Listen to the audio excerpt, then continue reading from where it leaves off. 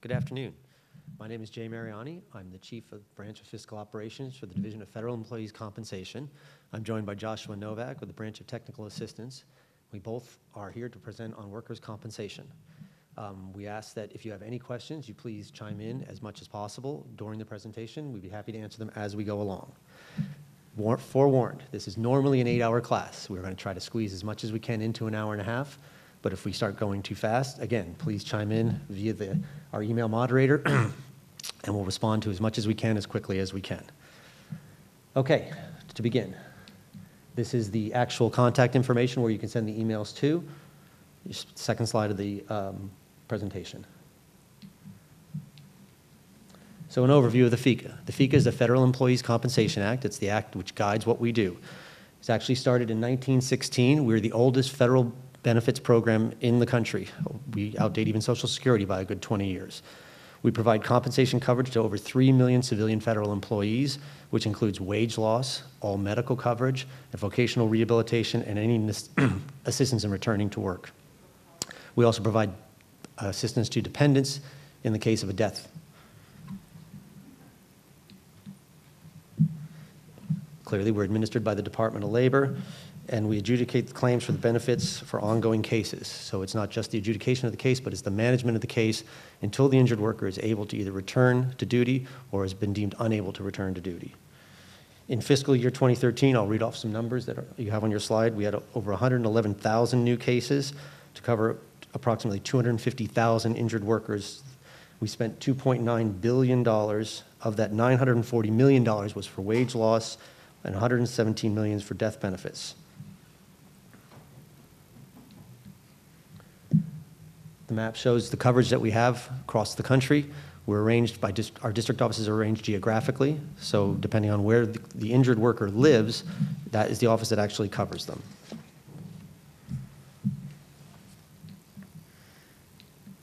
Just a note for those that are that do workers' compensation work as perhaps as a collateral duty, that all of this is covered under the Privacy Act. Employee, the information goes strictly to the employee. It is not part of a regular personnel record the, the employee can designate a representative or an attorney or someone else to, to discuss their case with us, but otherwise the normal guidelines of the Privacy Act are followed. Documents that make up the claim file in particular are protected and are not to be with any other personnel record. There must be a separate system of records simply for the workers' compensation case, and it can't be used for any other purpose other than workers' compensation. We actually, even if the agency keeps a copy of the records, we are actually the owners of those records. Um, Towards that end, HIPAA does not actually apply to OWCP. We have a specific exemption from it because of our systems of records. Hang on a second, I'm sorry. It seems to have gone, gotten ahead of myself. Okay, on to the actual specifics. Types of claims. We have three basic types of claims. There's traumatic injury, occupational disease, or death. A traumatic injury is when someone is injured on one specific day or shift typical that you'd expect. Someone trips and falls and injures themselves. An occupational disease is exposure to some condition or some other injury, so to speak, that lasts over more than one shift. Something, say, like carpal tunnel or a cancer or a breathing condition. The last would be death, when a federal worker is killed in the line of their duty.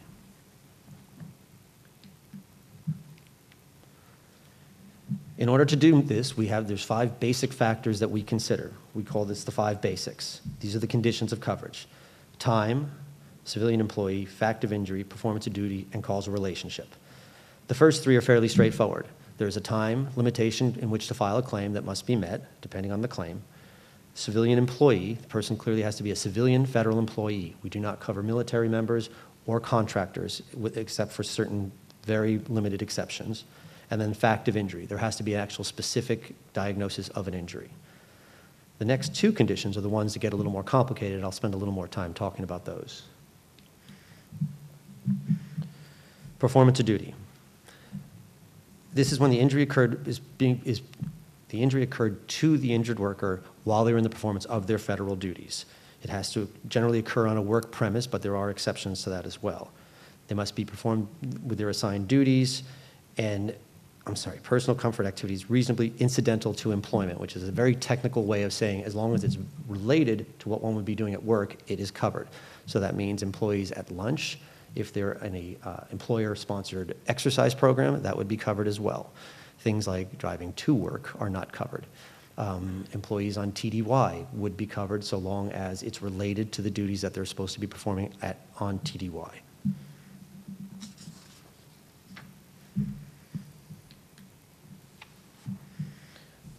Again, that's the sort of off-duty injuries. For example, Josh and I are here at OPM giving our presentation. If something were to happen to us and we were injured on our way returning back to the Department of Labor, that would be covered because this is part of our assigned duties.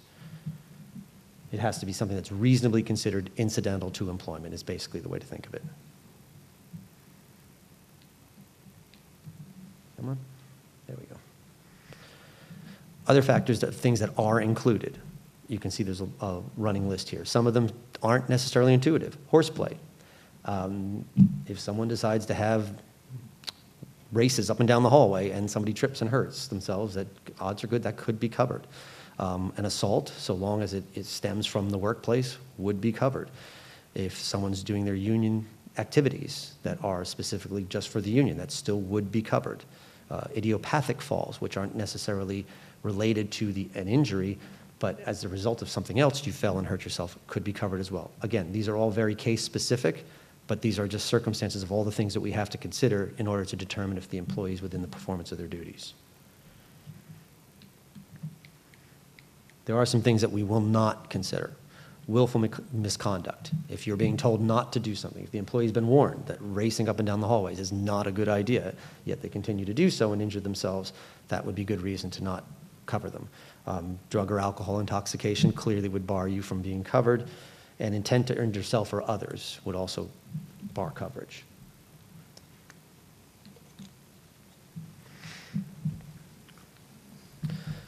Causal relationship.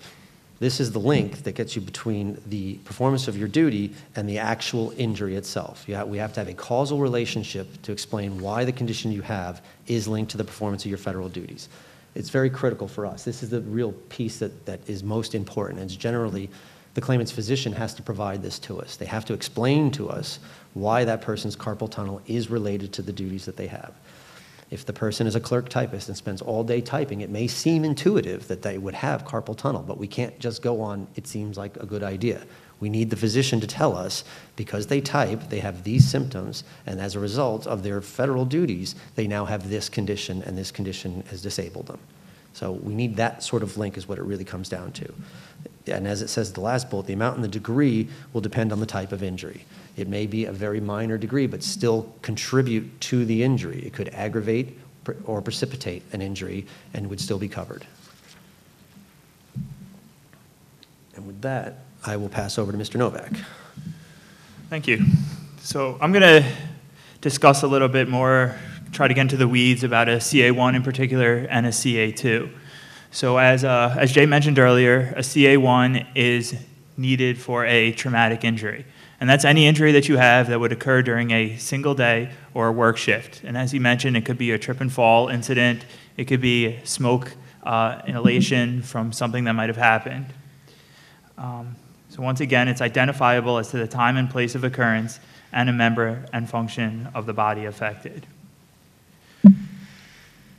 So a CA1, it needs to be submitted to the employing agency within 30 days of the date of injury in order to be eligible for COP. And I'm going to go into uh, exactly what COP is. It stands for continuation of pay, and that's a system that's set up in order for injured employees to consider or to continue receiving uh, compensation, monetary compensation, while claims are adjudicated by uh, OWCP. So not all CA1 forms are submitted from agency to OWCP. You need to follow the filing instructions on the back of the form. So as we mentioned at the beginning, we received in fiscal year 2013 over 110,000 claims. So we, we don't have the support or even the, we don't have the need to adjudicate every single claim that comes in. Sometimes someone might get a paper cut, they'll file a claim. There's no medical related to a paper cut injury, there's no time loss, so they'll just file it and that won't necessarily need to be submitted to uh, OWCP. That's something that the agency can hold on uh, in their workers' comp specialist desk, and then if injury does manifest from that paper cut, say it's infected, then at that time, the report can be submitted. Uh, If the form should be filed, it must be transmitted to OWCP within 10 workdays from the date the agency received notice, not necessarily 10 days from the date the form was actually signed. So here are some of the agency responsibilities when an injured employee begins to fill out a CA1. You're going to want to review the form for completeness. So a CA1, if you've never seen it, it is a, it's a two-sided document with the first side for the injured employee to fill out and the second side for the supervisor slash injury compensation specialist to uh, review and fill out. So when you get it, you're going to want to make sure that the employee has filled out all the information necessary. At the same time, you want to be able to make sure that this injured employee can receive the medical treatment that they need in order to uh, treat whatever happened. So, in conjunction with the CA1, you also want to submit and give them a CA16, which is a medical authorization form. And that's kind of a, a free pass that allows the injured employee to go to a treating physician to get checked out. Um, you want to advise the employee of the right to elect COP, and you want to advise the employee of their responsibility to submit medical evidence. Because as with any injury and any time off, you're going to need the injured employee to submit proof that they are actually injured and that they do need this time off to, uh, to recuperate and treat. And we can't emphasize enough, we really rely on the employing agencies to give us information. There is no central database anywhere. OPM has lots of information, but they don't have a lot of the stuff that we need to do what we do. So whether it be this form or the other forms we talk about later, we have to rely on the information you send us in order to fill out a case and to adjudicate a case, as well as to pay people. So when that's not accurate, then we end up with problems. So it's really, really important that we get good information, both from the claimant filling out the form and as well as the agency. Thanks.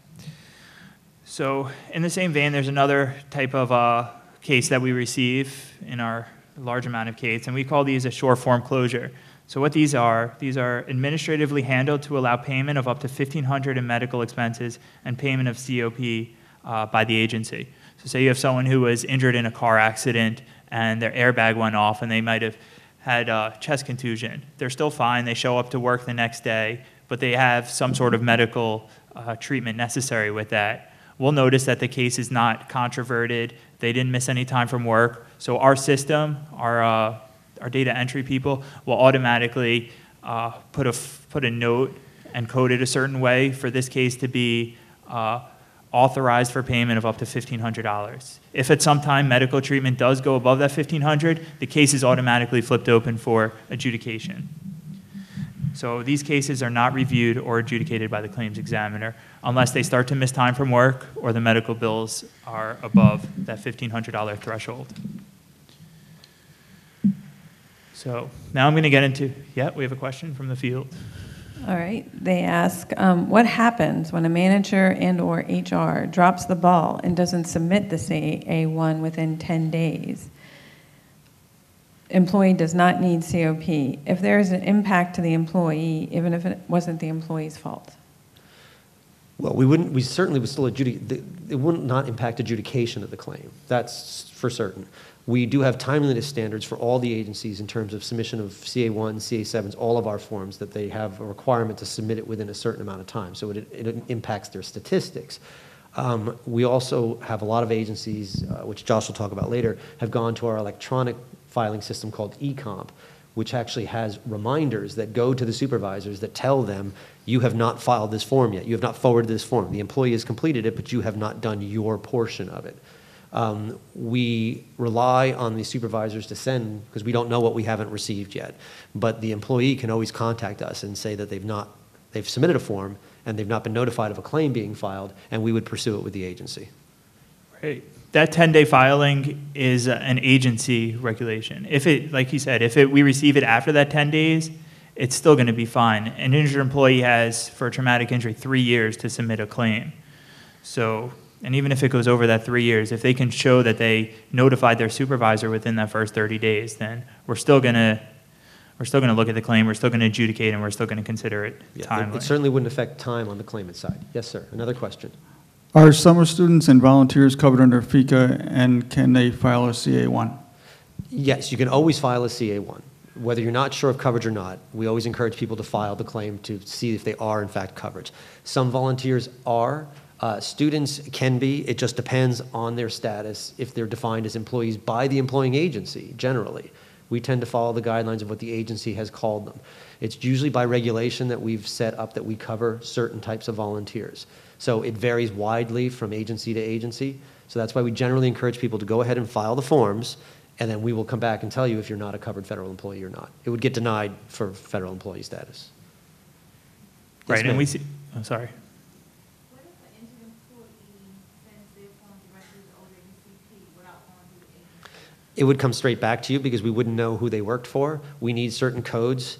Um, All of the costs that we incur are billed back to the agencies, and there's a coding system that has to go with that, so that we can't even associate the claim with a particular agency without those codes, and a claimant would have no way of knowing those. So whenever, if we got a form without the agency, unless it was very clear, say, for example, they put down that they were a letter carrier and we knew it was USPS, we would send it to the USPS and ask them to complete it for us.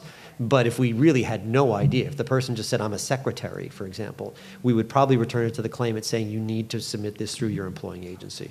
The only time that we would accept a form is a CA2A, which is a notice of recurrence. If someone suffers a recurrence and they're separated or retired from their agency, then at that time, the injured employee can just submit that form directly to OWCP. Right, because we would already have the information on file as to who they originally worked for. Correct. Okay? So, COP defined. So, continuation of regular pay for up to 45 calendar days of wage loss due to a disability and or medical treatment after a traumatic injury. So, the intent of COP is to avoid any interruption of pay while the claim is adjudicated. So, if an injured employee gets hurt, they're not going to be able to work, and at the same time, they're going to be filing the forms. So then there's that gap between the time OWCP can accept a case and the time that they're not working. So we don't want them to not be able to pay their bills. So the COP would cover that time before an adjudication is made in the case. Uh, COP is paid by your employing agency. So it's also subject to deductions from pay, such as the income tax, the retirement, the allotments. Um, your TSP would come out still. And the decision to use leave over COP is not irrevocable. So if you're injured, you don't have to elect COP. You can use your sick or annual leave. And an employee who uses that type of leave can elect COP within one year of the leave usage um, after the case is accepted by OWCP. So continuation of pay eligibility. So I need to stress that continuation of pay is only, um, only applicable in a traumatic injury. It's not for occupational claims. You need to file that CA1 within 30 days of the date of injury, and uh, time lost from work needs to begin within 45 days of the date of injury.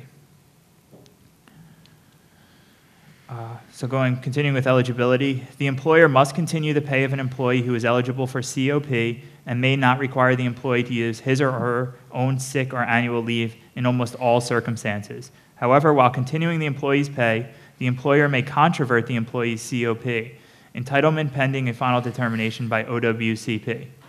So, OWCP has the exclusive authority to determine questions of entitlement and all other issues related to COP.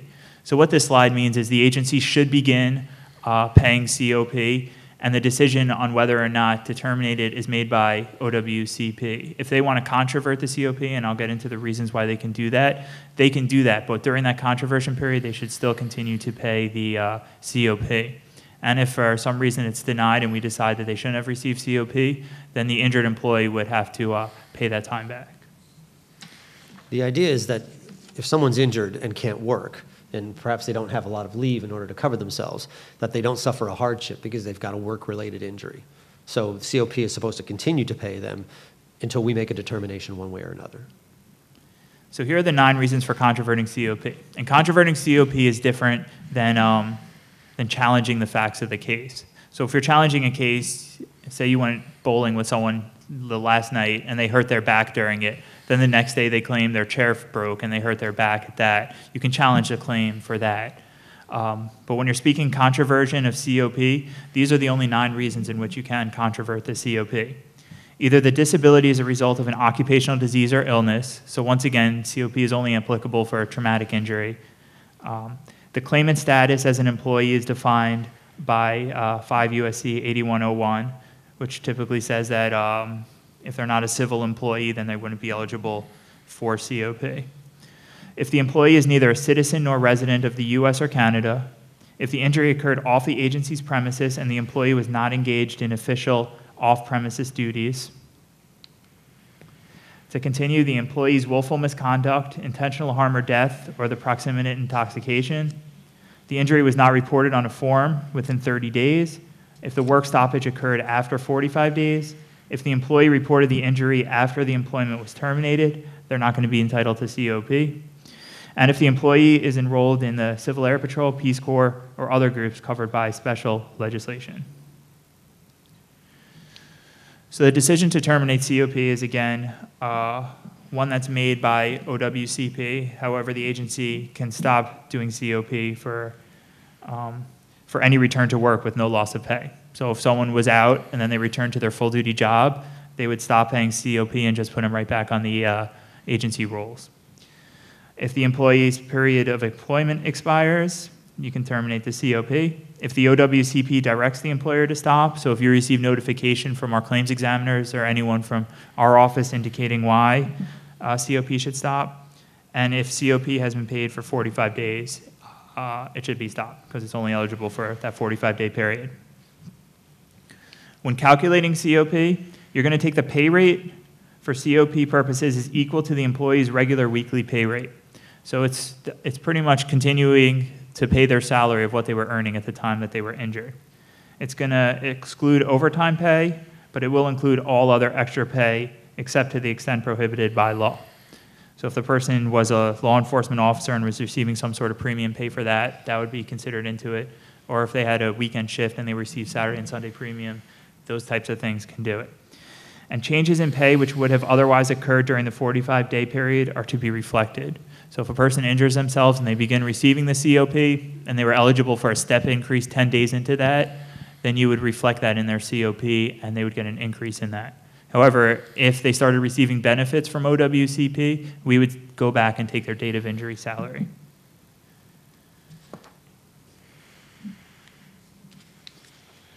Uh, Yep, question? Yeah, we got a couple. What happens if a supervisor refuses to complete the part that they are supposed to complete of the form? Well, they can't really refuse. I mean, if the immediate supervisor won't fill it out, it would get moved up the chain. Or if it came to us, we would send it to someone else within the agency. I can't say that's something we've come across. We do have some agencies where people are stationed overseas, or perhaps a supervisor's moved to another part of the country and is not available, so it's hard to reach them. But then generally, it's filled out by someone else in the agency. It doesn't necessarily have to be the immediate supervisor who supervised the person at the time of injury. That's preferable, but it doesn't have to be that person. So it could be someone in HR, it could be the supervisor's supervisor or the new supervisor. Yeah, So we each, have, each agency will have their own standard operating procedure on how they deal with uh, workers' comp cases. Right. Um, if that immediate supervisor is not helpful, perhaps go to your HR, you go to your injury comp specialist, Right. or you go to uh, someone else in your agency to find out what the procedure is. There's definitely someone in every agency in place with knowledge of workers' comp that should be able to help them. Okay, another question. You indicated that the expense, that if the expense exceeds $1,500, the case would automatically flip and be opened. What we have seen in our district is that the case goes from automatic closure to under development, even though the case had been originally accepted. Why? Well, the case was never ri- originally accepted. What it was was administratively approved for medical bills under $1,500. If that goes over and it flips open, and we have the medical evidence in file that shows that they were injured in the performance of duty, and we have the causal relationship from a physician indicating that their diagnosis is related to what happened, then we'd be able to accept the case immediately. However, once it opens up and we don't have that evidence, we need to undertake the development necessary in order to get the evidence we need to accept the case formally. Right, So there's a couple of things there. One is our own particular lingo, and flip to us means go from this sort of administratively accepted to a regular open but not accepted case. The assumption for the short form closures is that these are going to be very minor injuries, as Josh said. And so someone will go to the doctor, maybe get a couple of prescriptions, have a follow up, and return to work with no wage loss. Those are so minor that we don't review them. We just pay the medical bills, and that's the status quo. However, sometimes in the door, it seems like it's a very minor injury. Someone may have said, I tripped and fell and sprained my ankle, and we thought that's all there was to it. But it turns out they tore ligaments and ended up needing a surgery. Well, as the medical bills go over that threshold, that's a signal to us that the case is more serious than we realized and that we really do need to undergo the normal development procedures. So it then reverts back to the same status it would have been had we not done this administrative acceptance and we do all the normal development. So there's no penalty or it's not treated any differently. It's just instead of just flying under the wire because we think it's minor, it's now been called to our attention that it's a little bit more serious. Okay. Uh, Another, there's another couple questions on COP. The next one is from a VA hospital, and they would like to know, should we pay COP without medical? They have 10 days to provide the medical, correct? They are correct. The, it is the burden of the claimant to supply medical for COP. The agency does have the right not to pay it if the claimant refuses to provide medical. Uh, you can't walk in and say, I hurt myself, and fill out a form, and then just sit back and wait to get paid for 45 days. So, yes, they do have the right to do that. But they also should try to pursue it with the claimant to try to get the medical from them, as opposed to just laying in wait, because the person may not realize. They may be sending things to us and not sending it directly to the employer. Okay. And the next one is, what should an agency do if the claimant brings in medical that states that they need to be off work for two days? For example, Friday and Saturday, where Saturday is not a normal work day for the employee. The employee then would like to use another day, like the following Monday. Can they do that, or should the two-day excuse be for the Friday and Saturday that was given? I think if they have a medical note disabling them for work for uh, Friday and Saturday, that they should return to work on that Monday. They're going to be cleared to return to work uh, as of that date, and that's the date that we're going to consider them uh, back back healthy. And I agree. The, the physician gave specific dates. They said two days off of work. And those are the two days that should be covered. If it happens to be on their work shift, then they stay off. If it's not on their work shift, then they don't. We would generally not pay compensation if the medical does not cover the specific days. All right, I think a last one on COP. Can the employee use COP for medical appointments after the 45 days? So COP gets very complicated, and I'm not surprised we're getting lots of questions. And if you look at the, C- the slides in total, we probably have more slides on COP than anything else. That's why I asked Josh to do it instead of me. Um, it gets very complicated. 45 days is not an absolute. It's not within just a 45 day window. I if they go back to work, but they continue to miss some time for medical appointments, it can stretch out 45 up to so many days after the first return to work.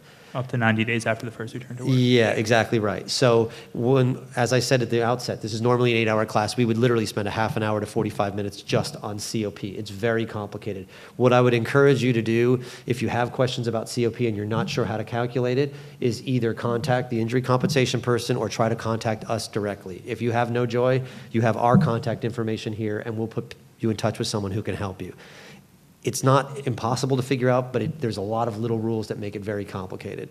So it, just remember, it's not always an absolute 45 days. So a direct answer to the question is yes, they can use it for a medical appointment after that first 45 days, but it depends on when they first return to work. Any others? It looks kind of complicated, but I'll read it. Okay. If an employee who has been out due to medical using her own leave submits a CA1 after more than 45 days of the date of injury, can she request to change her own leave to COP for the first 45 days and DOL make the determination if no longer 30. entitled due to the fact that the notification was submitted more than 30 days? Or at this point, can we inform the employee that it, they are not eligible for COP? You'd be able to inform the employee they're not eligible for COP because they need to submit the claim uh, on the form within 30 days of the date of injury. And in this situation, it sounds like they waited till after 45 days in order to submit that form, so they wouldn't be eligible for the COP. Everything else would still be adjudicated, it would still go forward, but just in terms of payment of COP, they would not award them COP for that period.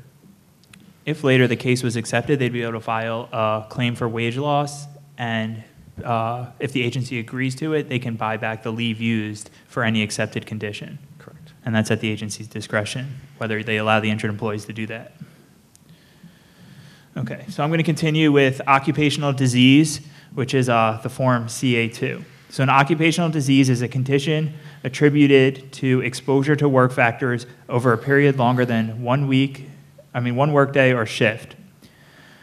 So, we see, um, we see a lot of carpal tunnel syndrome, CA2 cases for people that have been typing for many years of their life. We see orthopedic injuries for you know, postal people who have done a lot of walking during their career. We see hearing loss cases for people who have been around airlines or uh, gunfire. Those are the types of occupational disease. Also included in that are maybe uh, long-term stress cases. So as I mentioned before, the COP is not provided, and the CA16 is also not issued. So COP and CA16 only go in conjunction with your CA1, your notice of traumatic injury. If you think about that, it kind of makes sense. The CA1 is something that happens suddenly to people, and they're unexpected and unawares. The CA2 is a more long-term thing, that they, they know this has been going on. When they file the claim, it's not a surprise. They'll generally have their leave, or they know some, a little more planning can go on, so they're not going to suffer nearly the hardship, and that's why COP is not as critical. So the CA2, it must be submitted to the employing agency within three years from when the employee became aware or reasonably should have been aware of a possible relationship between the medical condition and the employment uh, or the date of last exposure. So you can have someone who went to the doctor because their wrists were hurting, and the doctor said you may have uh, you may have carpal tunnels. They're like, okay, I'll just monitor it over the next year or so, and they continue working. Then a year down the road, they're like, well, this is not getting better. I think I need to file a claim. That would be timely because they first really became reasonably aware of it a, a year before. And the CA2 needs to be transmitted to OWCP, just like the CA1, within 10 workdays from the date the agency received the notice. And the do not hold we put there, we really emphasize that, really for all of our forms, but especially for the claims forms. We, we rely heavily on nurses to work, to help us with work the cases, and the sooner they get out to the claimant and help us manage the claim, working with the doctor, the claimant, the sooner we get these people back to work. It really helps everyone, the faster we move early in a claim. So please, try not to hold on to these. Um, right. So the CA2 adjudication, OWCP tries to adjudicate occupational disease claims within uh, 90 days for a simple OD, uh, like your carpal tunnel syndrome, your orthopedic conditions, or 180 days for extended ODs, and that's your stress cases, your pulmonary conditions, um, if there's any eye loss or sight loss. Uh, types of cases like that take a longer development because we might need to go out and schedule uh, additional medical exams before we can make a determination on any benefits. Uh, here's a, a slide about death benefits and how they would be paid out to a widow, to any surviving dependent children. Um, so if someone does die as a result of a workplace injury, their widow would be entitled to uh, 50% of the compensation. If there's a child, an eligible dependent, and that could be someone who's uh, below 18 or someone who uh, there's a there's a number of different different rules for eligible dependents. But they, uh, the widow's percentage would decrease to 45%, and each additional child would get 15% for a maximum of 75%. Yes. I have an employee who had uh, a workplace injury from which he apparently died, hmm and he has no survivors. Are there any benefits potentially payable? Not generally. Generally, it's those immediate survivors, unless he had a dependent. So it would not necessarily have to be a spouse or a child. But if he was supporting someone, a grandchild, uh, a cousin, an aunt, that could be covered. But it's generally only those that are dependents to the deceased federal employee. So then there are no burial expenses. So repeat the question, please, the people on the camera. can't- Oh, I'm sorry. So she was asking if, if a federal worker dies during the performance of their federal duties but have no dependents, are there any benefits payable? Um, Yes, we do pay a death benefit, a death and burial expense benefit. Um, I'm not sure that I've seen one when there isn't a dependent to file the claim, so I'm not I'm a little unclear on that. I'm so afraid. Sometimes we would receive the bills directly from the funeral home, and I think there's a $200 burial expense that would be paid. And there's also a benefit sometimes that's paid to the agency for the administrative cost to uh, formally close the paperwork, as they say, on the person. But outside of that, there's really no, unless they have an eligible dependent, there won't be any monetary compensation uh, paid because there's no one there to actually pay it to. Right. Is that good? Okay. Um, So medical benefits, OWCP authorizes medical services, appliances, or supplies that are likely to cure, give relief, reduce the degree or period of disability, or aid in lessening the amount of the monthly compensation. So if, so if a claimant wants to send in any authorization for any medical treatment that's related to an accepted condition, um, and they have the medical evidence from a doctor indicating that this type of treatment will make them better, then we will authorize that. The key thing is that we authorize medical treatment that's related to the accepted condition, and that will help cure or give relief to that person. And any qualified physician or hospital can provide such services, appliances, or supplies. Uh, the CA 16, I mentioned it before, which is issued with the CA 1. It shall be issued within four hours of the claimed injury. It's, uh, if verbal authorization is given, it needs to be issued within 48 hours. It's not required to issue more than one week after the date of the injury. Because what the CA 16 does is it gives us a medical snapshot of the person's condition at the time they had their injury. So after a week has passed, uh, we're not going to be able to know the, you know, the contemporaneous symptoms of what their injury was at that time. And it should not be issued for occupational disease claims, which I think I hammered home. Um, I'm going to turn it back to Jay for the next part. Okay, great. Yes.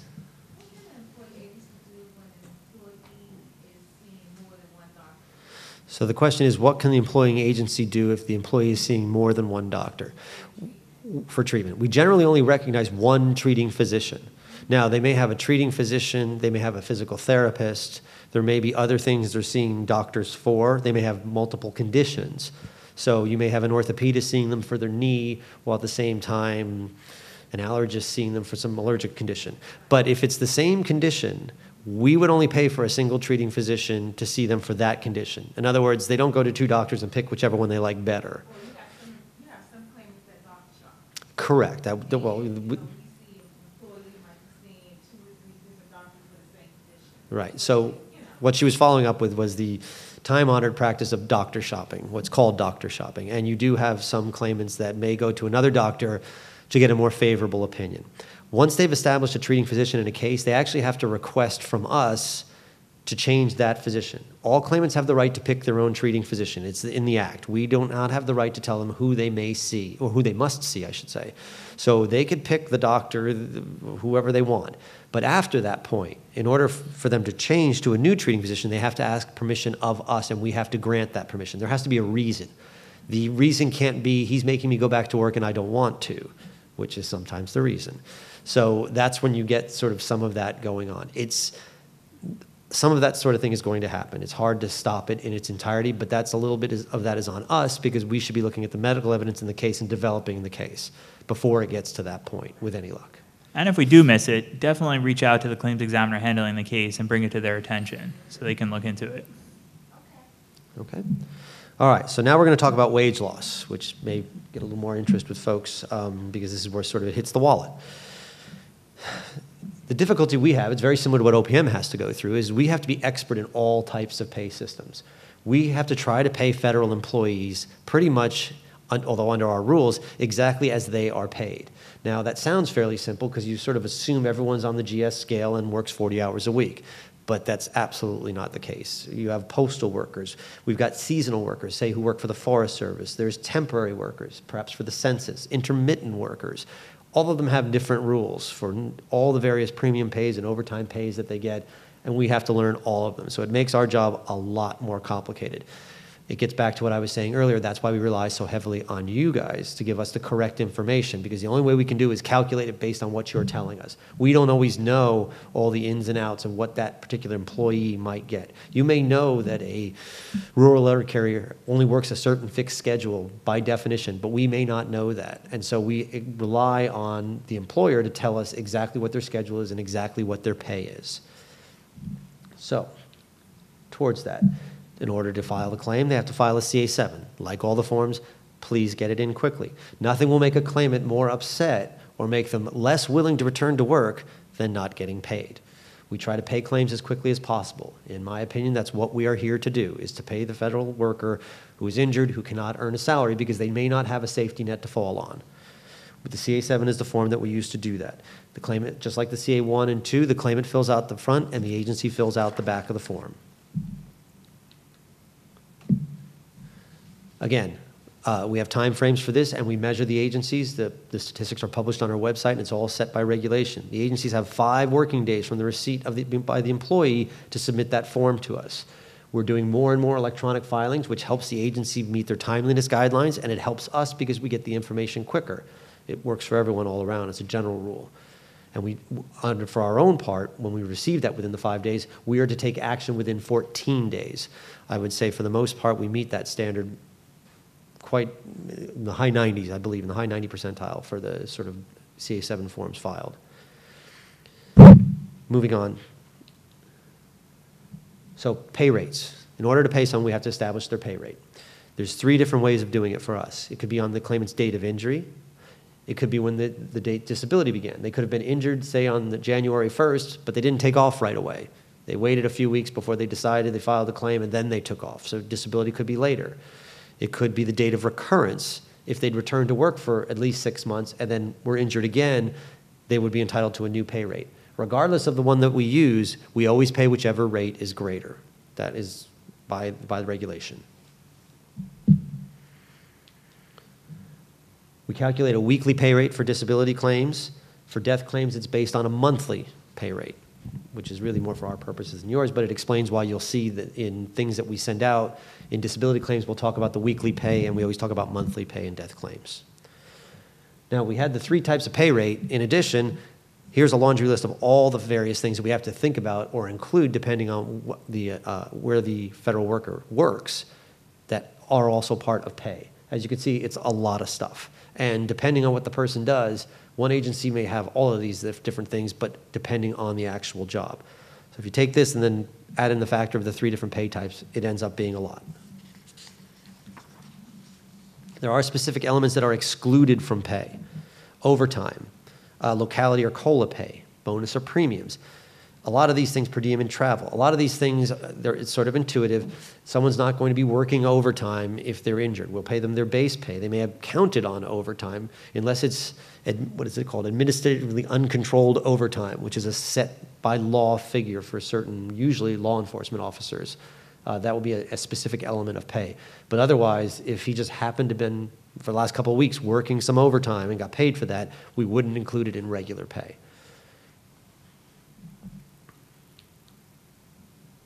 In order to determine the pay rate, we have to look at their entitlement. Entitlement, the basic entitlement to workers' compensation is 66 and two thirds percent, or two thirds of their regular wages. If they have dependents, it's three quarters, 75 percent. Bear in mind that our benefits are tax free. So, because we don't fool around with FICA and on state taxes and local taxes and whatnot, the Act contemplates that this reduction will basically offset the taxes that the claimant has to pay. Uh, period of entitlement, we talked about COP, which the agencies pay. After the COP period is over, there's a waiting days period of three days. If the employee is disabled for less than 14 days after COP, then there's a three day waiting period in which they're not paid compensation. They're expected to use their own leave. Any questions so far? I had a feeling. Okay, one of them is, why is the CA7 timeliness under the Power Initiative counted based on the date the employee signed the form and not when it was received by the agency? You want to address it? You want me to? I mean, because the, the, at the end of the day, we're concerned with the, for, the injured worker. We want the agencies to perform well, but we want to make sure that the, when the worker signs it and hands it in, that the agency is submitting it quickly and timely. Uh, the agencies have a problem with this because we do, are told that the worker signs it on Monday, but he didn't hand the form in till Thursday, and now we're already going to be late. And we're aware of this, but I don't know that it's a substantial problem. The timeliness goal is actually when the, it's not when the employee signs the form, because the employee can, like you said, sign the form on a Friday and then give it to the agency on a Monday, and then that puts the agency at a disadvantage by three days. It's when the agency receives the form, that's when the clock starts. So they need to submit that form within five days from the date they receive it. There you go. Okay, next question. What happens if a claimant sends the Form CA7 directly to OWCP without having the ICPA complete the back portion? It's going to be the same thing that, uh, that Jay mentioned before, like the CA1 or 2. Our case create facility is told that if we receive a CA7 with the back incomplete, that's going to be returned to the uh, filer. And there's also a checklist that's added to it indicating why it's being returned. So they're going to check off that the agency did not complete their part, and they're going to return it directly for the, uh, directly to the injured employee for them to submit to their agency. Okay, The next one is about, uh, it's a medical question. If the employee selected a primary doctor and also saw a physical therapist, the physical therapist said the employee has reached MMI. Mhm. This was not the primary doctor. I should advise the employee to have the primary doctor state this, correct? Correct. So, yeah, as any federal agency, we're no slouch at acronyms. MMI stands for Maximum Medical Improvement. The physical therapist is not a physician. So they're there to render treatment and perhaps give us reports on the treatment, but it's the opinion of the treating physician that matters in this case. So yes, the, their, their guess is absolutely correct. Even though the physical therapist might think they've reached MMI, that's probably only for the condition that they're doing physical therapy for, and there could be other factors in the case that they know nothing about we would then, even if we saw it, we would refer to the treating physician and ask them to give us a report stating whether or not the claimant has reached MMI and reasons why or why not. Yeah, and the agency has a regulatory right to correspond with employees um, treating physicians in writing at reasonable intervals. So if the agency becomes aware that the physical therapist says that this person is better, they can take that physical therapy report, uh, create a statement, and send that to the treating physician themselves and ask them to comment on whether or not this person can return to work or if there's any restrictions. But that should only be done in writing and at reasonable intervals. Another question about the CA7. I know the DOL pays out monthly from the CA7. However, when a person is on extended period of time, should they submit the CA7 biweekly or monthly? Well, if, if someone, if, if there's an ex- expectation of extended disability, we use what we call the periodic roll, and we pay someone every 28 days, which is basically just twice a normal pay period, and a CA7 is not required at that point.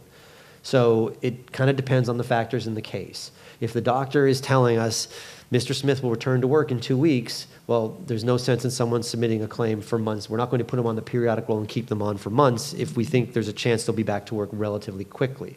However, if we're told he's about to go out for back surgery and he's expected to be out for four months, well, at that point, we would put them on the rolls and then they wouldn't need to file the form.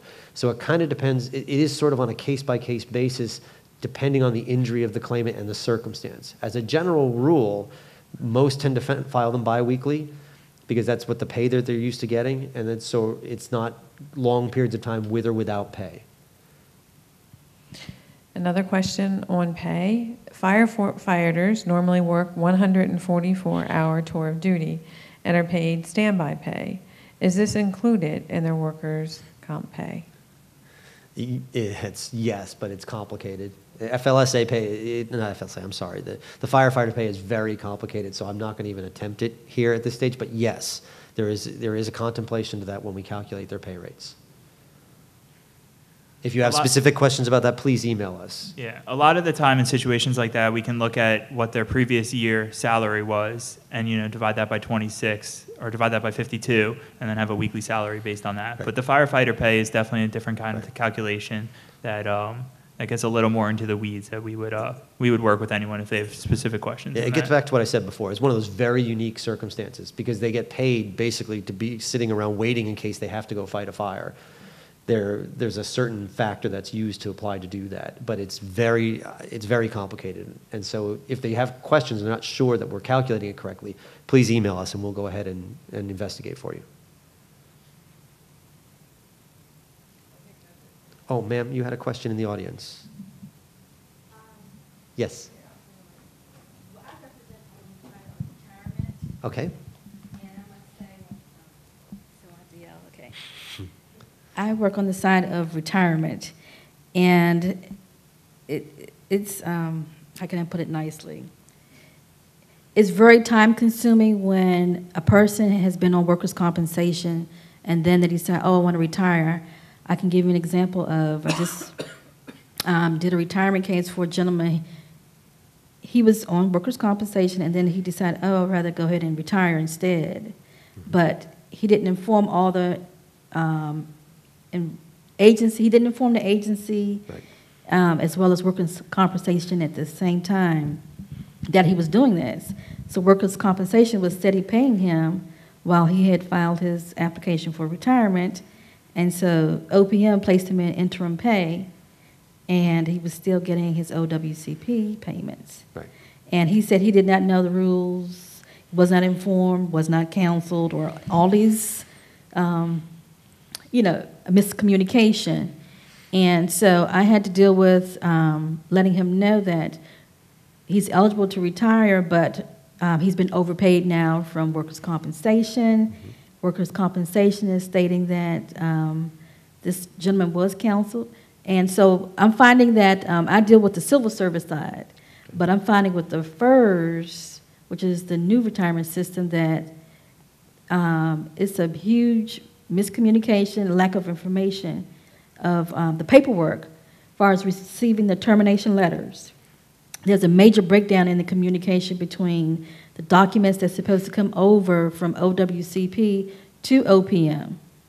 And I was just trying to figure out how they can bridge the gaps between the two agencies so that there's not, so we can avoid some of these major delays that we have. Because you can work under FERS only 18 months, and then most of the retirement under FERS are disabilities. So we have hundreds of thousands, if not thousands of cases of missing information in order to properly retire these people under a disability. That's for FERS. Civil service, um, we have a little bit of leeway, but I just wanted to find out, is there some way we can address bridging those gaps? Well, I mean, we're always, I work frequently with OPM, so we're always interested in any suggestions you might have to make that better.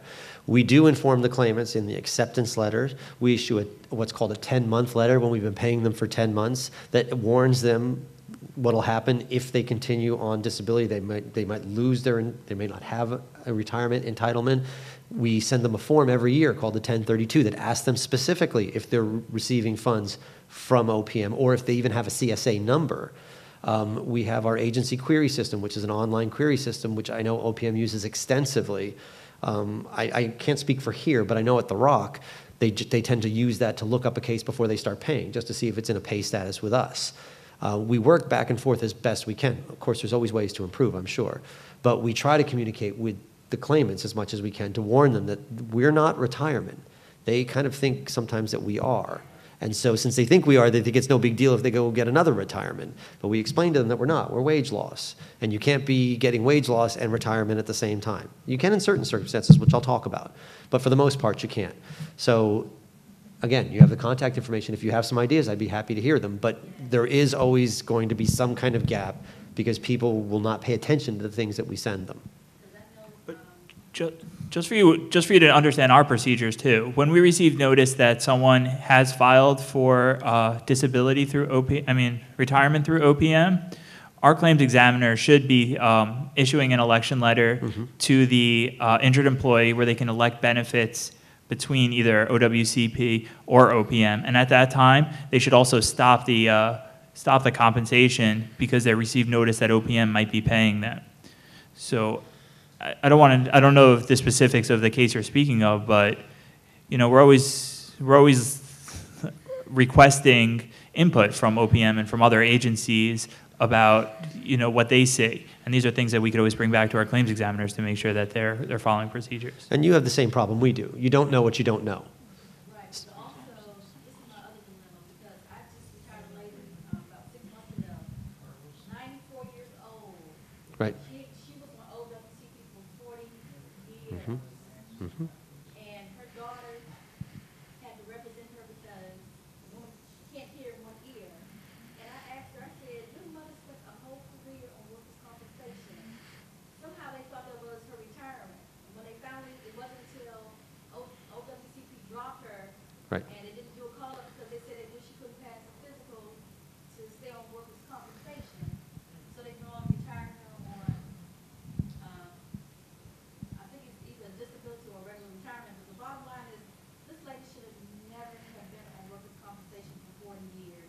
Well, we're bound by the rules of the Act. So the Act tells us if there's even 1% disability for someone, that we have to honor that. And as people get, what the problem we have is that when people get older and they have other disabling conditions, if she did any kind of physical work, like say was a letter carrier 40 years ago, and has all these other conditions that aren't work-related, but has that even small percentage of work-related condition, we can't return her to work.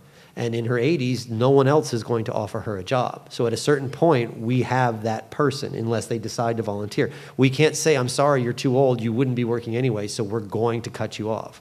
We don't have the right. We have to find them either completely healed, so to speak, or find them a job. And it is very difficult for us. Now, we've done several long-term projects on what we call our periodic rolls. These cases have been on for a very long time. And that number has shrunk dramatically in my tenure with, with OWCP. So there are still cases that come out, but there are fewer and fewer of those.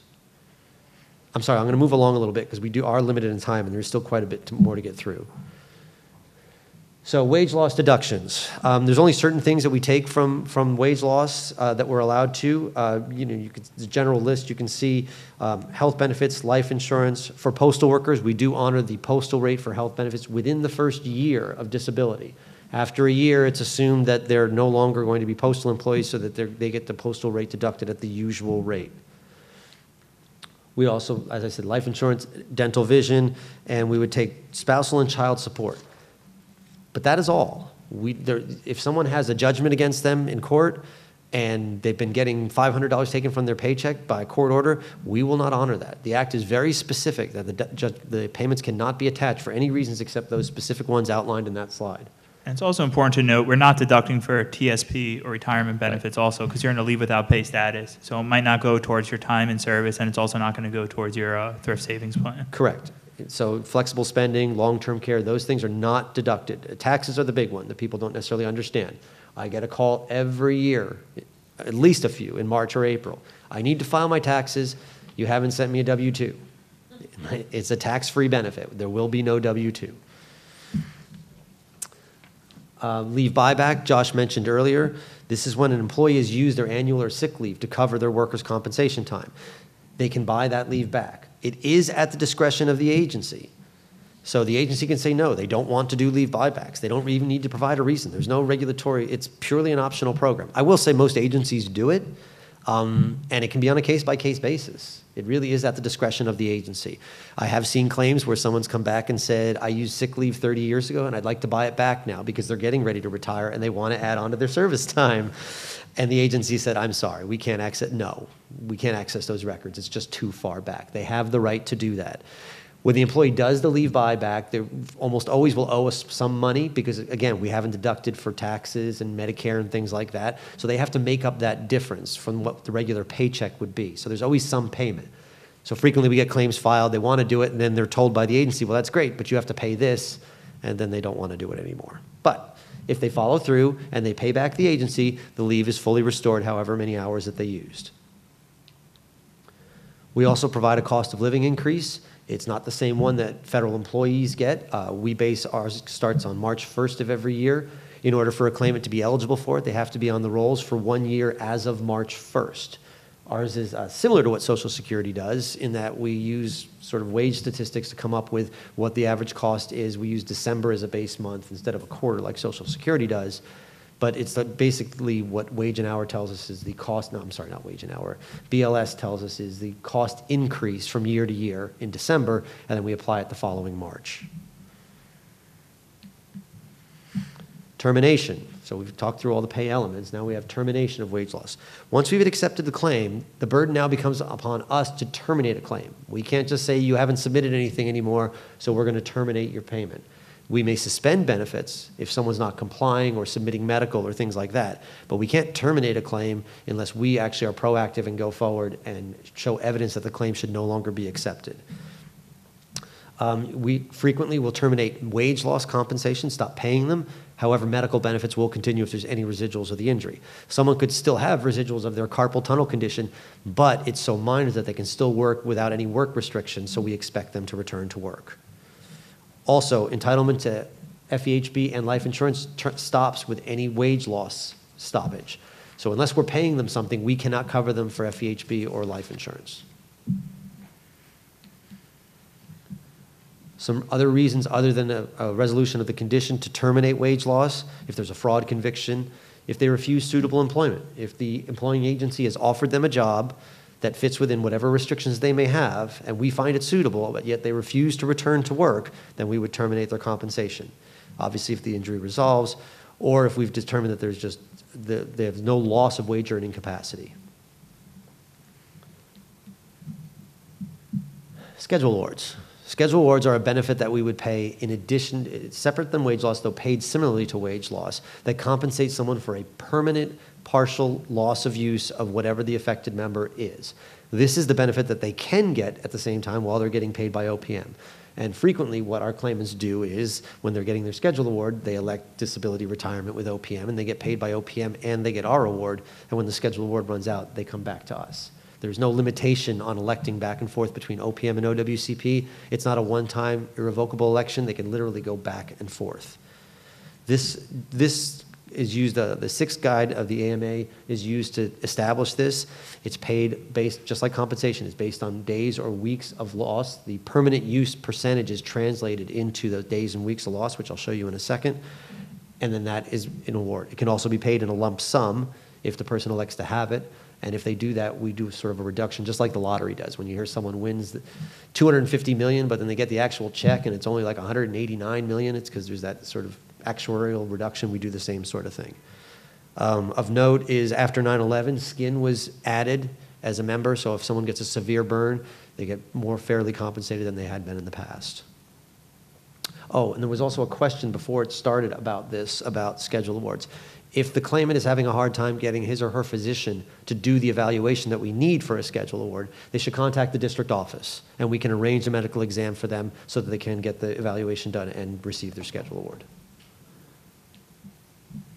This chart shows you the, the maximum number of weeks that they can get for a total loss of use of the various body parts.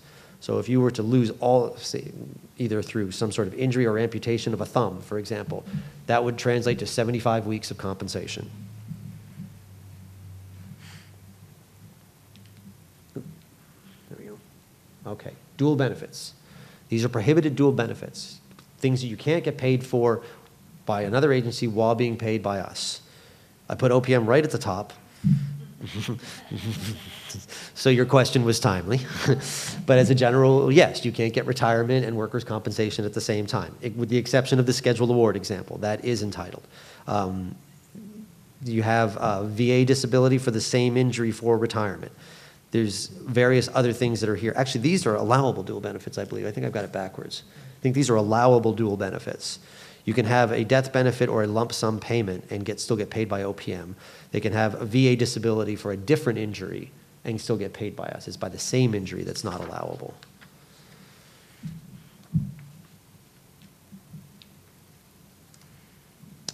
And elections between OWCP and OPM. So again, the claimant has the right to elect back and forth. Um, we see this frequently.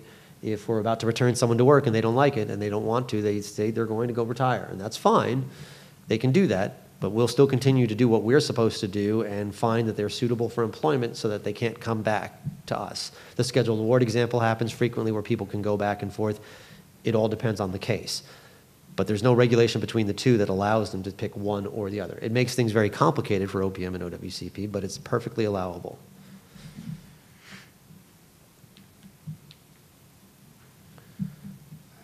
So return to work. This is where we count on, the again, we count on the, th- things we're counting on the agencies to do to help us get the claimant back to work. Because we can say the condition's resolved, but if there's no work, we still have to pay them. So we try to return them wherever possible to the employing agency, back to their date of injury job, if possible.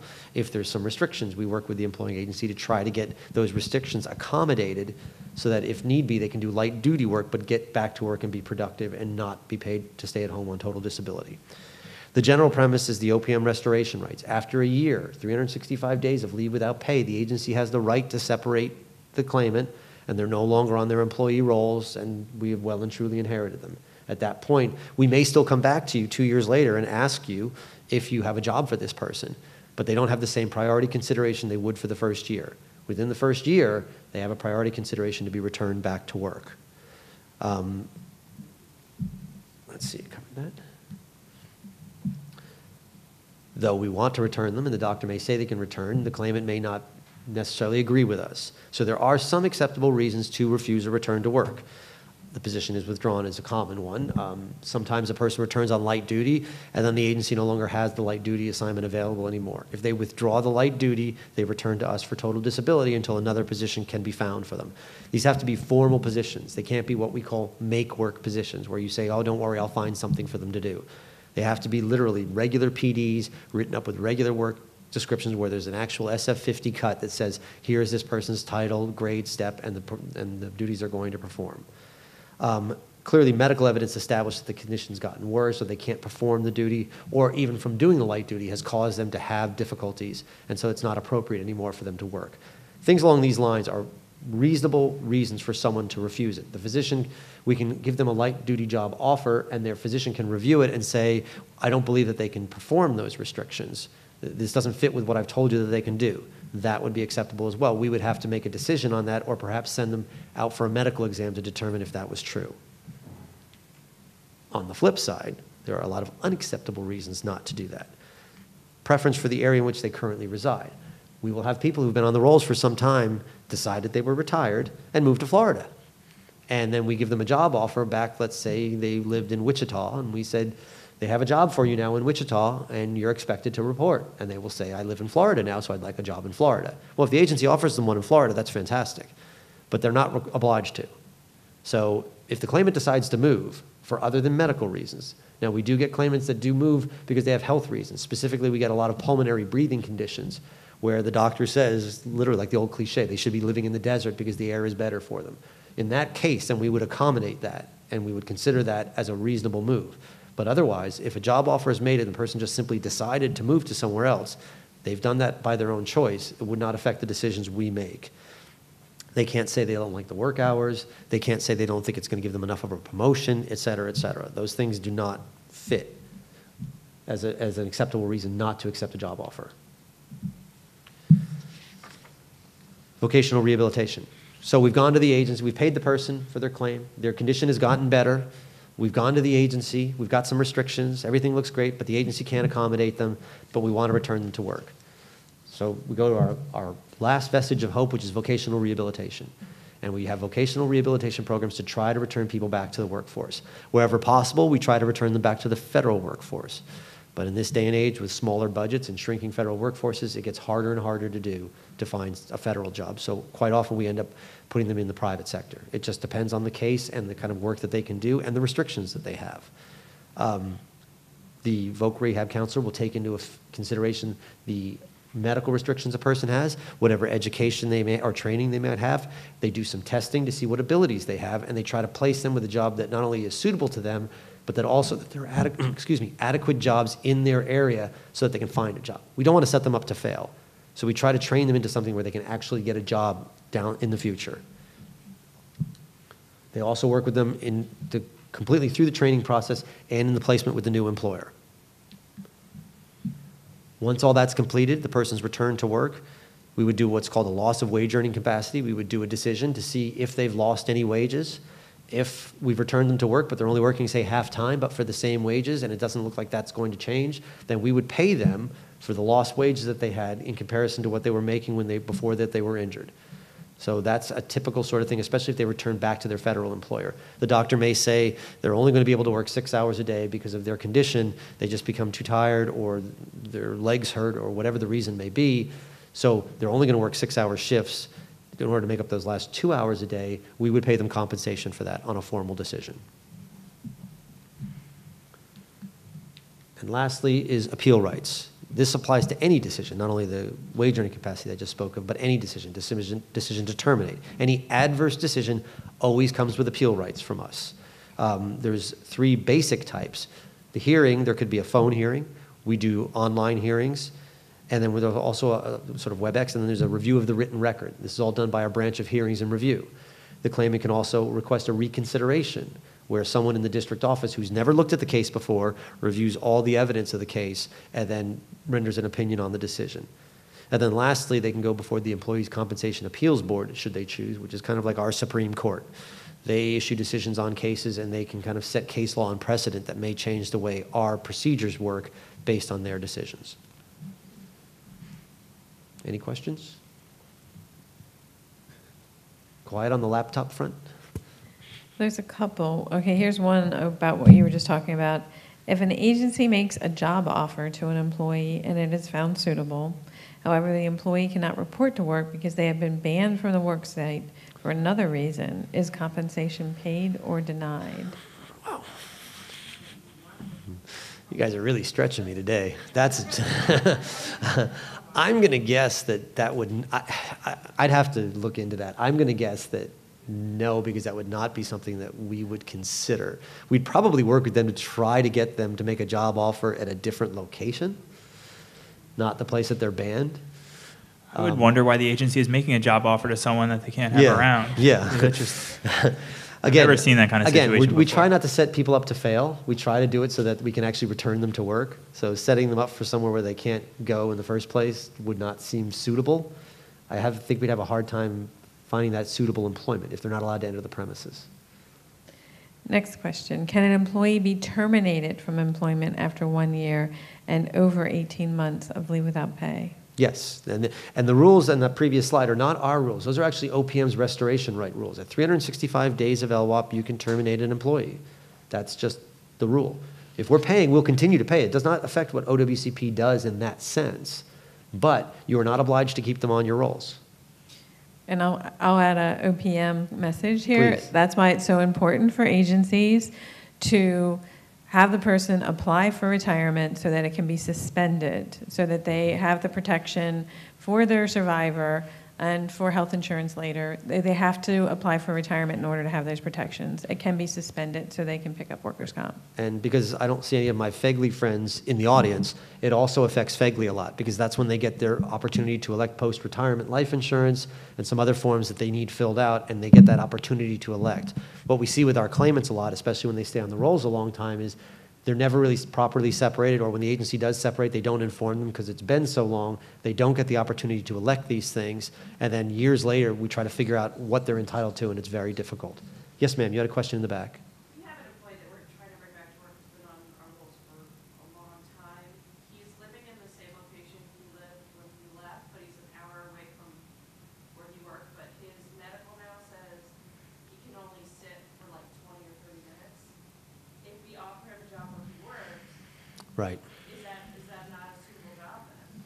yeah, that would not be a suitable job, because if he needs to sit in his car for an hour, uh, you have to take that into consideration, the driving things. You can specifically go back to the doctor and ask him about the driving restrictions to see if anything. But if we saw that, we would have to say that that would not be suitable, because you have to take the transportation to and from work into consideration Yeah. when the person returns to work. I- Yeah, and I know it seems unfair because he was doing it before, but you have to think of it in the sense that his medical condition now, what's happened since the injury, has limited him to sitting for that long. And you certainly wouldn't expect him, if he's driving, say, to pull off on the side of the road, you know, and, and do that. If he was taking Metro and he could sit and stand, maybe that's possible. If the person's Right, and so if the person's motivated, they might try and do it, but we also don't want them to make their condition worse. Because then they end up in total disability and you end up in a worse place than you were in the first place. But Josh has an excellent suggestion that sometimes you can go back to the doctor and the doctor can make alternate suggestions. Sometimes, depending on what the agency does, there's alternate work schedules. Now, OPM does mostly white collar, nine to five, maybe perhaps you can consider telework. Um, you could also consider a schedule where they start later. I've seen it frequently where someone would come in at 10 o'clock after commute time. So that what was normally an hour drive is now a 25 minute drive, and the doctor says, well, an extra five minutes is probably okay. If the agency can accommodate that because there are hours that works, sometimes you have to be a little creative. You know, um, if, especially if the person's motivated and wants to get back to work, they'll generally work with you and try to get something done. So think outside the box a little bit, especially nowadays with telework being such a big thing. I mean, I would not shy away from that. I know it's, it's difficult, especially if someone's been off for a long time, to consider bringing them in, but they're still at home. But if you're getting production from someone and you're not paying them wage loss, instead you're paying them a salary to do work for you, that, that must be better. Others? I have a lot of questions, but they're not necessarily on the topic. Do you want to, Yeah, I think we, you want to just take, because the rest is sort of form sort of stuff. Do you want to take the questions now, or do you want to wait to the end? We'll take the questions. Okay. all right, um, one of them is, it just left. I understand a 10-month letter from CA 1032s annually go to the injured employee. Does the agency supervisor or human resources or injury comp professional receive a copy of these notifications as well? There's a lot of things mixed up in there. The 10-month letter is issued once when the claimant's been on the rolls for 10 months. The idea is we're sending it just before a year, just before they losing that restoration right. And it's basically saying, be careful, because if the agency separates you, it's going to be much harder for you to get back to work. The 1032, we send every single year, as long as the person's still on our rolls. And that's asking a bunch of sort of employment-related questions. Um, have you worked? Are you receiving VA benefits? Are you receiving OPM benefits? Do you still have dependents? Those sorts of things. As to copies of the documents, the agency can always request copies of the documents. We don't automatically send them, but they have the right to go see them. We also have our online, again, where the claims are filed, they can also go look at things online now where they send us a list and say, these are the cases we'd like to look at, and they can review the entire case online. Okay. Has there been any legislation passed that requires a compensationer to switch to retirement once they reach eligibility for a full unreduced annuity? Now, FECA reform has been on the Hill for a couple of years now. It's tied to the postal bill, which you may have seen periodically in the news whenever they talk about ending Saturday delivery or closing a bunch of post offices. That's generally tied up with what they call the postal reform bill. The FECA reform bill is part of that as well, and that's just not been passed. That is one of the elements of it that we want to do is sort of quote unquote retire them at a certain age, but it's not been passed. All right, please explain how the agencies can actually use the documentation from the DOL file maintained at the agency's OWCP office to support removal of an employee after the one-year mark has been reached. Isn't the employee's agency deemed as acting on behalf of the employer, not as a third party? And then define routine use. Okay, again, a lot of stuff in there. Okay, you don't need to support any, and you can chime in, you don't need to provide any evidence at 365 days. You can separate. There's no evidentiary requirement, so you certainly don't need our file to do that. Our file can only be used for something related to workers' compensation. So that would be, say, a return to work, um, a review of, to, to see if the person's still disabled, if they're in a posture to return to work, medical restrictions, things like that. Any kind of personnel actions, any kind of, uh, say, a PIP, or any other problems, none of those things can you use any part of the workers' compensation file for that. And there was a third piece that I lost track of. I think she said something about routine use. Oh, and then the routine use. The, the, again, that's the basic routine use, which is on our website, which basically says it may only be used for purposes of workers' compensation and return to work. No other purpose whatsoever. That's why it has to be kept separately from the employee's regular personnel file, because we don't want them mixed together. Their supervisor can't decide to go look. If you thought, if you were injured and it was something that maybe was a little personal to you, you wouldn't want your supervisor to just go rooting around and see what the doctor has to say about you. Your height, your weight, you know, your, your smoking, drinking, personal habit, all that stuff, just because they were nosy and felt like it. It's very sensitive information, so we keep that, we're very strict about keeping that far apart from any other part of the personnel actions. And in a lot of agencies, it's the same person who's dealing with the workers' comp side and the personnel side because these are collateral duties. And e- even though that person has access to these files, it's kind of, they need to wear two separate hats. They need to first put on their workers' comp hat and use the documents for the reason that they were created, which is to manage uh, the workers' comp and to help return to work.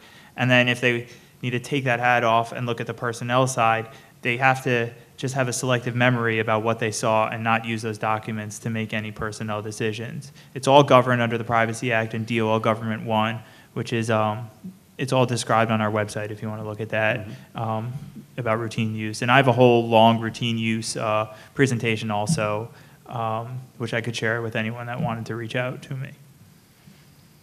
Okay.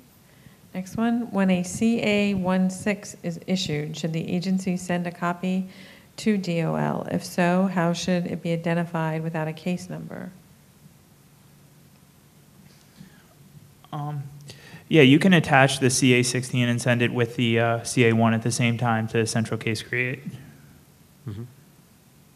Once it's sent in, we'll find, we'll find the person, because the claim is going to be filed. The 16 is issued right away. The idea is that the person may or may not have health benefits. Um, They might have difficulty if they tell, tell the hospital or doctor's office it's workers' comp, they may not want to bill Blue Cross for their services. That form is basically saying, here, take care of this person now. So we don't really care about a case number so much. As long as it's filled out properly and it gets back to us eventually, when we accept the case, they'll already have a case number. We use that to make sure that all those medical bills are paid. Even if we deny the case, the CA16 will still pay the bills. This one is, how do you compute wage loss for volunteers? And accompanying that is, how do you return a volunteer to work who has been approved for workers' compensation?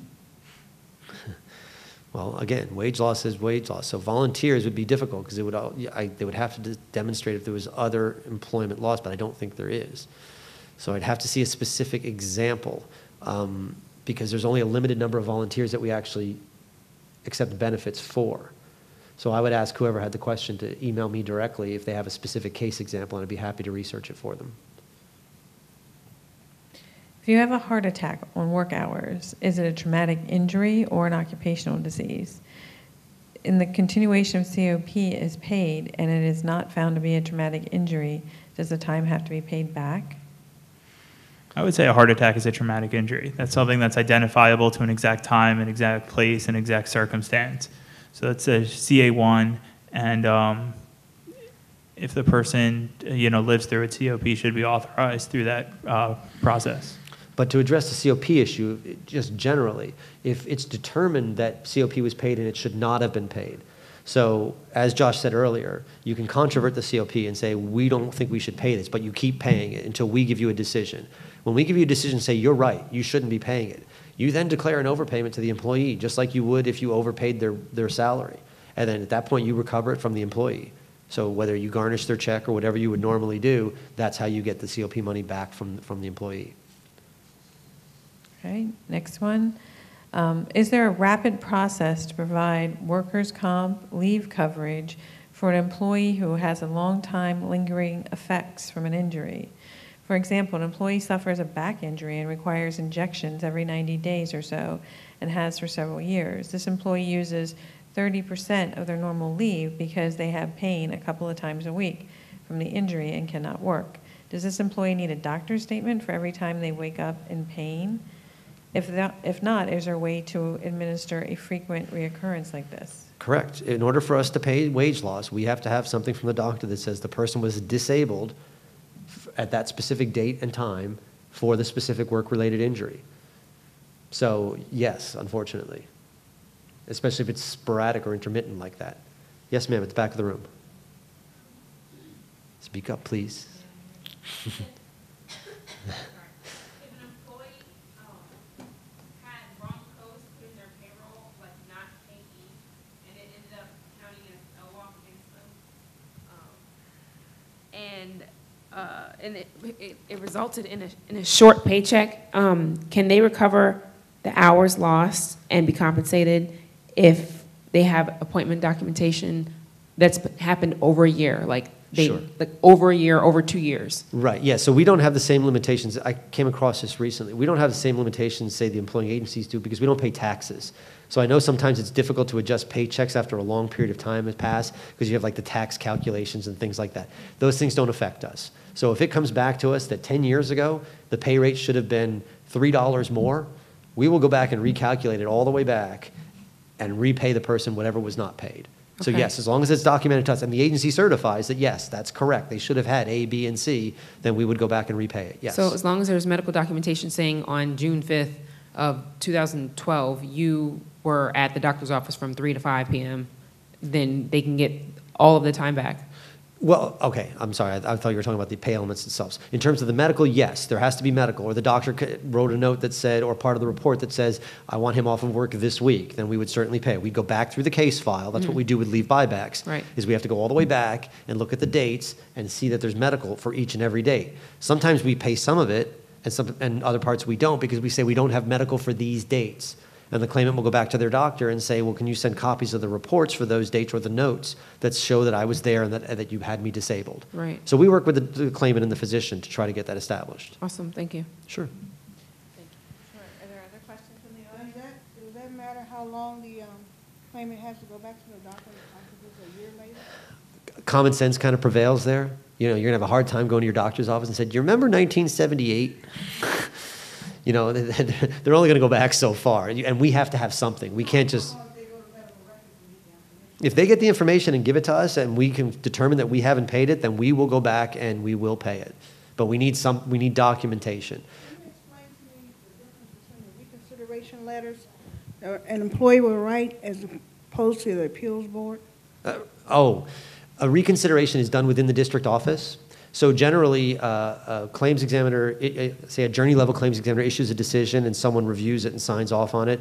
If you file for a reconsideration, a senior claims examiner within the office who's never looked at the case before will go ahead and re-review everything and issue a new decision. They'll either affirm or, or alter the decision. So they may look at it and say, you know, what they did was absolutely right, they just affirm. But the difference is it's in the district office. It's still handled by that office. It tends to be done a lot quicker. The timeframes are much, much shorter. Um, and it is still someone doing the everyday work. The appeals board takes a bit longer because there's, there's a board, there's three judges, administrative law type judges that actually review the cases. They hear arguments, just like you'd think in a courtroom. So it takes a lot longer for them to issue their decisions. But if you're trying to argue something that maybe isn't the norm, that someone, the lawyer or the representative feels like we should change and start doing this thing, they may go that route. Because the reconsideration is only going to do what we currently do. They're not going to make changes to procedure. The ECAB, though, on the other hand, could say, you need to start doing this. And, and an injured employee just can't file a reconsideration um, just willy-nilly whenever they want. Like, I want someone else to review it. They need to submit additional evidence, whether it's new medical evidence or um, a legal argument indicating why the decision was incorrect, and then we'll review it. If they Correct. just submit a statement saying, I need someone else to look at this, um, we're just going to close out that reconsideration request. And if that employer uh, uh, goes along with the initial decision, are they the ones who send the information for the appeals board? No, no, no. It all, all comes from the claimant. The employer, the employer can submit something if they think it's relevant to it. We'll read it and consider it, but it's all between the claimant and OWCP at that point. And this, and that applies to any adverse decision. So if we do something that's against the claimant, we're not going to pay wage loss, we're not going to do, you know, we're not going to accept the claim, then we issue those appeal rights. Okay, my um, statement would be, in reference to, you were saying some suggestions, um, just as um, employees have the right to, um, they're supposed to fill out an application for um, a disability, and they have to take it to their doctors. Well, I think the same thing, sh- it should be a checklist between um, coming off of workers' compensation and wanting to come on to OPM for retirement. And then that way, that I think that would help bridge some of the gaps. I. And um, I can show you some copies of some checklists that we use when we're doing a retirement case, the things that we need to, as far as the health benefit information, the life insurance, um, if they, if they want to continue their life insurance. Sure. Um, Remember, a lot of that stuff, we're at the whim of what's reported to us. So I agree with you. A lot of the agencies have a separation checklist that they, they're the, the tasks that they perform when they're separating the employee. And generally, workers' comp, are they on workers' compensation is one of the things they consider. If they do that correctly, then they don't terminate FEGLI and FEHB. If they don't do it correctly, they tend to terminate health benefits, even though we're paying and we're deducting. And then we've got to go back and sort out the mess. Oh, yeah. Yes, ma'am. Um, All right, so we're running really towards the end of the wire here. So do you want to just sort of skim through the last Yeah. slides, just so people know what's there? Um, I'll just start off right now with probably the, the most important, you know, concluding slide that we have, and that's our DFEC OWCP homepage. What we have on this homepage is, um, it's all up to date. We have people that meet once a month to make sure everything on the homepage is, um, is relevant, is, is, uh, is there. We have frequently asked questions for medical providers, frequently asked questions for agencies, for claimants. Uh, we have our whole procedure manual up there. Any new information that's coming out regarding OWCP is going to be posted to our homepage. So if uh, you have any questions, you can probably find the answer to it right through that link on our homepage. Um, another tool that the agency has for authorized users, they have the ability to access the agency query system. And um, what you can do on the agency query system is gain some basic case information. You can see what a case is accepted for. You can see the case number. You can see if uh, compensation payments have been made on the case. Uh, you can see if your CA7 has at least been received and paid. On the bottom, well, on the bottom of this, you'll see the different things you can do. You can uh, check your compensation payments, check the compensation tracking, and you can do a bill inquiry. So you have the ability to go in as an agency authorized user to see if uh, medical bills were authorized, submitted, or paid. And when you look at the compensation payments, you can see a whole list of them ranging from, you know, start date to finish date, whether it was paid, if it was for a schedule award, if it was for a di- disability.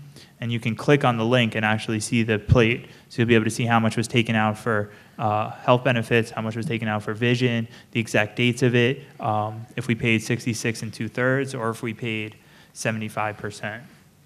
So that's a tool that agencies, um, agencies like because they can answer a lot of their questions themselves without uh, having to contact OWCP. It's okay if you go over a few minutes. Okay, good. Okay, we weren't sure. Um, another tool that is, um, is around is the Employees Compensation Operations and Management Portal, uh, eComp. And what that is, is a web-based application accessible via the public internet, which is intended to allow injured and federal employees to file their key workers' compensation claims. So if you work for an agency that is registered and um, has a completed MOU between that agency and DOL, you have the ability to go onto the public internet, meaning if you're at home, if you're at work, no matter where you are, you can sign on and file your CA1 and CA2 electronically, and then it'll be routed to the supervisor, then through an injury compensation specialist, that's your agency, and ultimately to uh, OWCP. And this allows you to see uh, the exact status of the case at any time. So if it's the paper world, you can give it to your supervisor, and then you just lose track of it and just have faith that your supervisor is doing the things that they need to do in order to submit it. But in eComp, you can actually go in, you have your own little homepage, it'll show you the exact status, pending review by supervisor, or pending review by injury compensation specialist, or even received by OWCP, here's your claim number. You can file your CA1s, your 2s, and your 7s uh, through it. And um, you also have the ability to upload and submit documents through eComp, which is known as WEEDS, the Web Enabled Electronic Document Submission. So if you have a medical report um, and you put it in the mail, it gets sent to our, uh, our central facility for uploading. And then finally, our claims examiner sees it. You're looking at a process of you know, five, six days before a medical report is actually in the file, or even a statement. If we needed a statement from an claimant or from the agency asking about more facts, you can upload it directly through eComp as long as you know the case number, the claimant's last name, the date of injury, and the date of birth. So as long as you have those four pieces of information, anyone can upload anything into a case file. So we see a lot of treating physicians now, instead of mailing these uh, medical reports in, they just finish their medical report, upload it directly to the case file. And now that we have these medical reports in the case file quicker, we're able to adjudicate these claims quicker, get these people the medical treatment they needed quicker, and then we get them back, hopefully, uh, to work quicker, which is, uh, which is one of our main goals at OWCP. Um, This is what the eComp homepage looks like, and if you notice on the right, that's where uh, need to upload a document. That's where you would go. You would click that green box underneath, and then the rest of the webpage is uh, designed and devoted to the form filing of your key workers' compensation forms. And if there's any questions about that website, there's a very helpful uh, section called Help on the left, which has videos. Uh, they're all 503 compliant, um, so you can review those and understand how the website works. Um, another tool that's built into eComp is the agency reviewer imaging. So if your agency is, um, has the MOU in place and they're utilizing eComp, they have the ability to designate certain officials in the agency as um, agency reviewer, as agency reviewers who have licenses to use imaging. So what that does is it provides those people the ability to see a case file the same way our claims examiners see it. They can request, um, they can request the case file in 24 hours. It'll be processed into eComp. They'll open it up and be able to see a list of all the documents that are in the case file, which is what this looks like. So if they want to see any of the current medical, they can sort it by medical, they can print it out, um, use it to make a job offer, or if they see that there's been no medical for a while, they can reach out to our office and we can look into uh, trying to develop for additional medical through second opinions.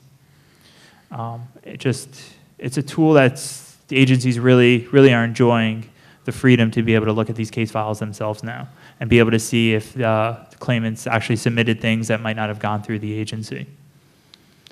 Um, so once again, this is what they all come up looking like a PDF, exactly what it looks like. So you can see uh, what the CA1 in this case looks like.